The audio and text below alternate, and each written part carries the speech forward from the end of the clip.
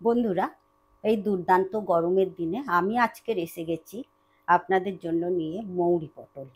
এই মৌরি পটল, মৌরিও ঠান্ডা আর পটলও ঠান্ডা।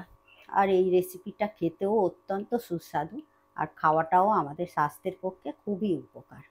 গরম ভাত, রুটি, লুচি, পরোটা, এমনকি পোলাও ফ্রায়েড রাইসের সঙ্গেও খেতে পারবেন। আর আমি কীভাবে এই রেসিপিটা বানাই, তার জন্য আপনাদের পুরো ভিডিওটা দেখতে হবে। আর ভালো লাগলে লাইক শেয়ার কমেন্ট করবেন আর সাবস্ক্রাইব করে আমার পাশে থাকবেন। চলুন দেখে নেওয়া যাক আজকের রেসিপি মৌরি পটল। এই মৌরি পটল বানানোর জন্য আমি এখানে তিনশো গ্রামের মতো পটল নিয়ে নিয়েছি। এই পটলগুলো প্রথমে আমি কেটে নেব। আমি এর পুরো খোসা বাদ দেবো না। গাটা এইভাবে চেঁচে পরিষ্কার করে নেব। আমি এখানে বটিতে করে নিচ্ছি। আপনারা ছুরিতে পারলে ছুরিতেও করে নিতে পারেন।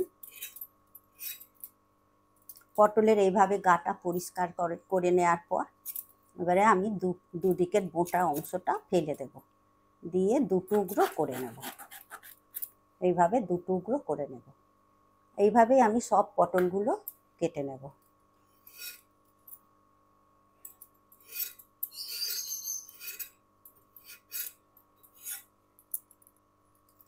পটলগুলো আমি আগে থেকে ভালো করে জল দিয়ে ধুয়ে নিয়েছি।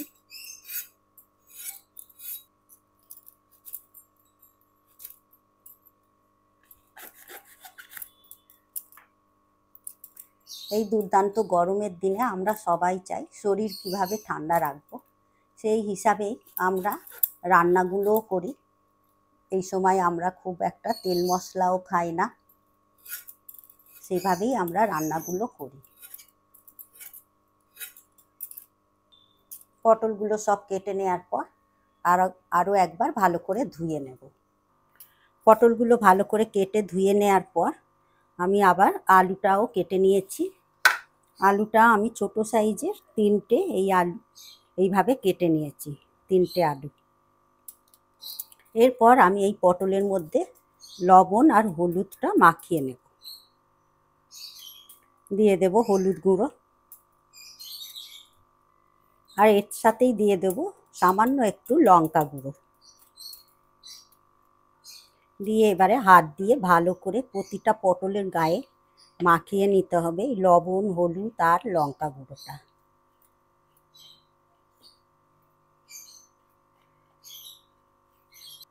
প্রত্যেকটা পটলের গায়ে এইভাবে লঙ্কা, হলুদ আর লবণ মাখিয়ে নেওয়া হয়ে গেছে। এরপর আমি গ্যাসে কড়া বসিয়ে দিয়েছি। গ্যাসের ফ্লেমটা একেবারে লোতে করে দেবো। দিয়ে এর মধ্যে এক চামচ মৌরি নিয়ে নেব। আর নিয়ে নেব একটা দারচিনি স্টিক। এটা আমি গ্যাসের ফ্লেমটা একেবারে লোতে রেখে মৌরিটা, দারচিনিটা ভালো করে ভেজে নেব। যতক্ষণ না পর্যন্ত মৌরি থেকে বেশ মিষ্টি একটা গন্ধ বেরোচ্ছে, ততক্ষণ এটা ভেজে নিতে হবে। একেবারে হাই ফ্লেমে ভাজবেন না, তাতে মৌরিটা পুড়ে যাবে। মশলা, মৌরি পটল খেতে ভালো লাগবে না। এইভাবে গ্যাসের ফ্লেমটা একেবারে লো করে দিয়ে মৌরিটা ভেজে নিতে হবে। মৌরি আর দারচিনিটা ভাজা হয়ে গেছে। সুন্দর একটা গন্ধ বেরিয়েছে। এবারে আমি এটা একটা বাটির মধ্যে ঢেলে নেব। এভাবে একটা বাটির মধ্যে ঢেলে রেখে দেব। ঠান্ডা করতে দেব। এরপর এই কড়ার মধ্যে দিয়ে দেব সর্ষের তেল। তেলটাও গরম হয়ে গেছে। এই তেলের মধ্যে পটলগুলো ভেজে নেব। আমার এখানে পটলের পরিমাণটা একটু বেশি, সেই কারণে আমি দুবার ধরে ভেজে নেব। পটলটা আমি চাপা দিয়ে দিয়ে ভেজে নেব। পটলটা ওদিকে ভাজা হতে হতে আমি মিক্সিং জারের মধ্যে মৌরি আর দারচিনিটা গুঁড়ো করে নেব। আপনারা শিলেও করে নিতে পারেন, কিংবা হামান দিস্তে থাকলে হামান দিস্তাতেও করে নিতে পারেন। মৌরি আর দারচিনির গুঁড়োটা ঠিক এই রকমই হবে। এইভাবে করে নিতে হবে। এদিকে এবারে পটলের ঢাকনাটা ফুলে দেখে নেব। এইভাবে ঢাকা দিয়ে লো ফ্লেমে পটলগুলো ভেজে নিলে। পটলগুলো নরমও হয়ে যাবে আর ভাজাটাও বেশ ভালো হবে। আবার উল্টে দেবো।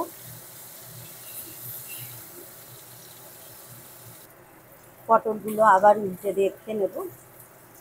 দিকটাও ভাজা হয়ে গেছে।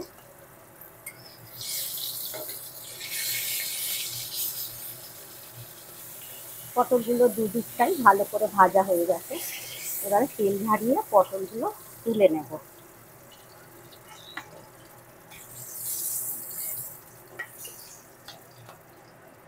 এই তেলের মধ্যে বাকি পটলগুলোও ভেজে নেব। একই রকমভাবে গ্যাসের ফ্লেমটা লো করে দিয়ে চাপা দিয়ে ভেজে নেব। একই পদ্ধতিতে সব পটলগুলো আমার ভেজে নেওয়া হয়ে গেছে। সব পটলগুলো এবারে তেল ঝারিয়ে আবার তুলে নেব।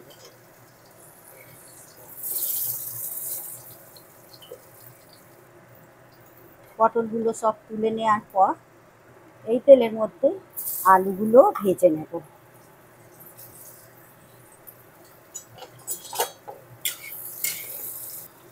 এর মধ্যে একটু লবণ দিয়ে দেব আর দিয়ে দেব হলুদ গুঁড়ো। দিয়ে আলুটা একটু ভালো করে লবণ আর হলুদের সাথে মাখিয়ে নেব।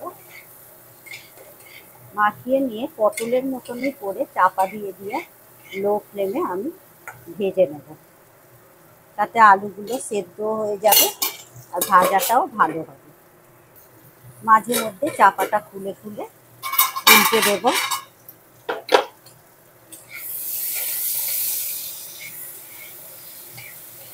উল্টে দিয়ে আবারও চাপা দিয়ে দু মিনিট এইভাবে ভেজে নেব। আবার ঢাকনাটা খুলে আলুটা উল্টে দেব।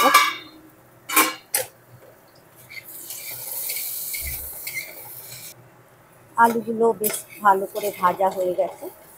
তেল থেকে তুলে নেব। যেহেতু কড়াতে তেল আর নেই সে কারণে আরেকটু তেল দিয়ে দেব। এরপর এই তেলের মধ্যে দিয়ে দেব মৌরি আর দারচিনির যে পাউডারটা আমি করে নিয়েছিলাম, সেটা দিয়ে দিলাম। আর দিয়ে দেব এতে দুটো কাঁচা লঙ্কা। লঙ্কা দুটো এইভাবে ফাটিয়েই দেব। দিয়ে একটু নেড়ে দেব। গুঁড়ো মশলা, এরকম ভাজাটা ঠিক হবে না, মশলাটা পুড়ে যেতে পারে। সেই কারণে আমি একটু জল দিয়ে দিলাম।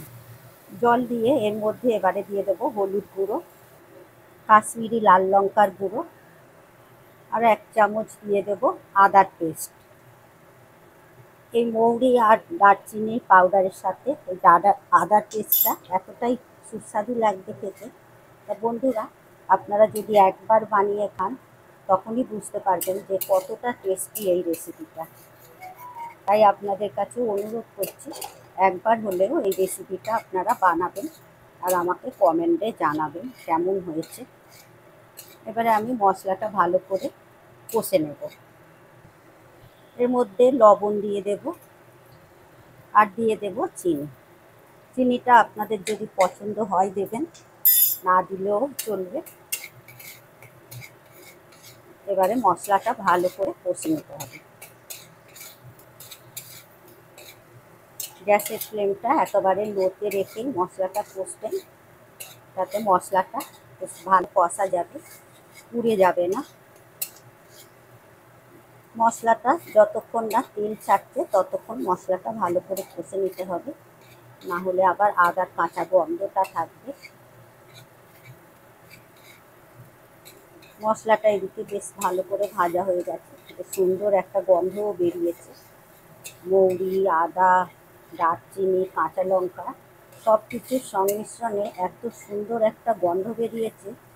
বন্ধুরা, আপনারা না বানালে আপনারা বুঝতে পারবেন না যে কতটাই সুস্বাদু এই খাবারটা। এর মধ্যে এবারে আমি দিয়ে দেব ভেজে রাখা পটল আলুটা।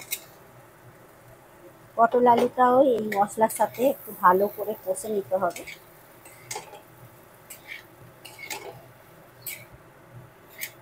পটল আলুটাও বেশ মশলার সাথে ভালো করে কষে নেওয়া হয়ে গেছে। এবারে আমি এর মধ্যে দিয়ে দেব। আমি এখানে গুঁড়ো দুধ এক কাপ এই এক বাটি দিয়ে নিয়েছি গুলে। তা আপনারা যে কোনো দুধই দিতে পারেন। যে কোনো দুধ দিয়েই এই রেসিপিটা করা যাবে। ভালো করে মিশিয়ে দেব।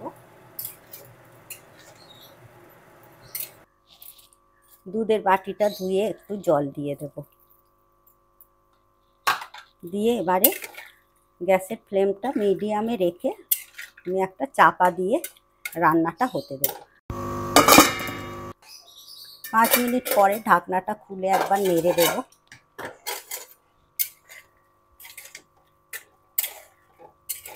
আরও একটু রান্নাটা হতে দেব।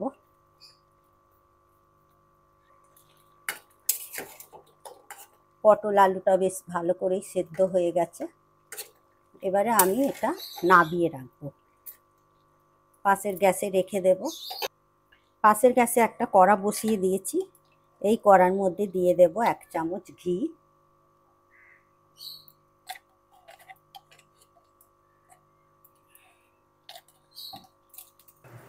এই কড়ার, এই ঘিয়ের মধ্যে দিয়ে দেব সামান্য একটু মৌরি আর দারচিনির পাউডারটা দিয়ে একটু নেড়ে নেব।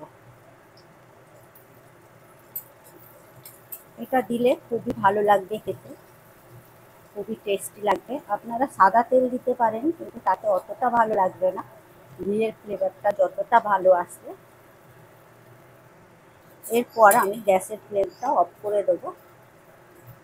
এরপর এই ঘি আর এই মৌরি, এটা ভেজে রাখা মৌরিটা দিয়ে দিলাম। এতে পটল, মৌরি পটলটা খেতে খুবই ভালো লাগবে। ভালো করে মিশিয়ে দিলাম। এরপর আবার পাঁচ মিনিট আমি স্ট্যান্ডিং টাইমে রেখে দেব। পাঁচ মিনিট স্ট্যান্ডিং টাইমে রাখার পর তুলে দেখে নেব। দেখুন বন্ধুরা, কত সুন্দর হয়েছে। দেখতে কতটাই না লোভনীয় হয়েছে। আর খেতেও ততটাই ভালো।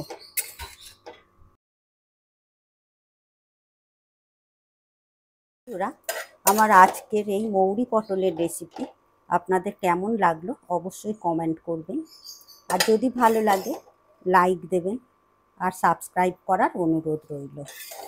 আপনারা সুস্থ থাকবেন, ভালো থাকবেন। আবার আসছি অন্য কোনো রেসিপি নিয়ে। ধন্যবাদ।